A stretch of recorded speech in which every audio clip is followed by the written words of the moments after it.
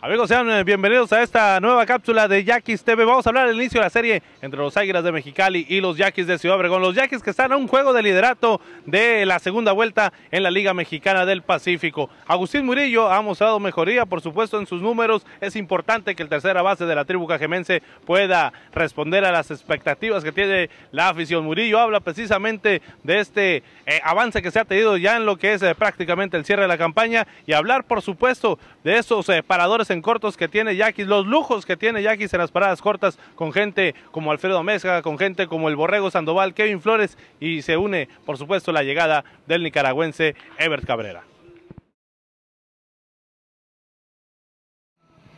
Sí, así es. Este, gracias a Dios me he estado sintiendo mejor eh, eh, conforme va pasando el tiempo y, y, como tú dices, lo bueno que es en el, en el cierre de campaña, ¿no? Que es cuando ya vienen eh, eh, los playoffs y, es donde todo el mundo eh, queremos estar. ¿eh?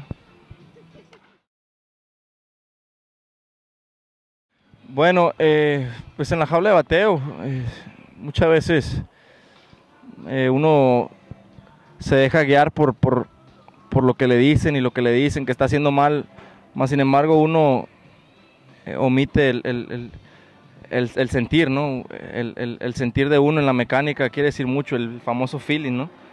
Eh, entonces, simplemente toma los consejos que te sirven y, te dejas guiar por lo que estás sintiendo tú en tu mecánica y, y seguir practicando, ¿no? Las cosas van saliendo. Eh, muchas veces uno cae en un error cuando trabaja, en, en cuando trabajas mucho eh, porque te está yendo mal, eh, caes en un error de hacer demasiados swings y demasiados swings y eso provoca más cansancio y, y te sigues metiendo en un hoyo eh, más grande, ¿no?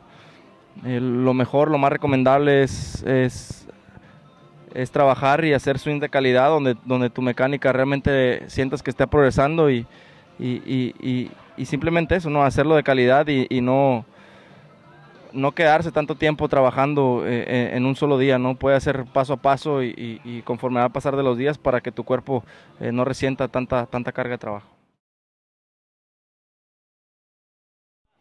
Sí, así es. Eh, tú sabes que Yaquis de Ciudad Obregón se, se, se, se, distingue por tener a, si no a los mejores, a, a uno de sus mejores eh, jugadores en, en, cada una de las posiciones, ¿no? Y, y me ha tocado la fortuna de, tener a tres grandes eh, shortstops como, como Mésega, como, como José Luis, el Borrego Sandoval y, y, ahora con la llegada de Cabrera. ¿no? Eh, son, son, son tremendos infielders, gente con, con, con grandes cualidades, con, con, con, mucha ética de trabajo y, y, la verdad con gran experiencia, ¿no? que, que vienen aquí a aportar su granito de arena para, para seguir llegando lejos nosotros.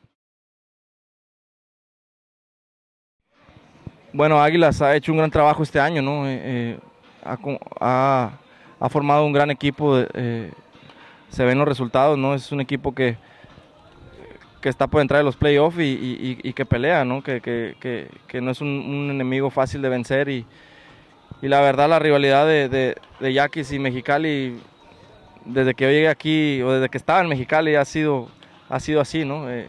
Mexicali y Obregón siempre tienen grandes series por lo que yo recuerdo, eh,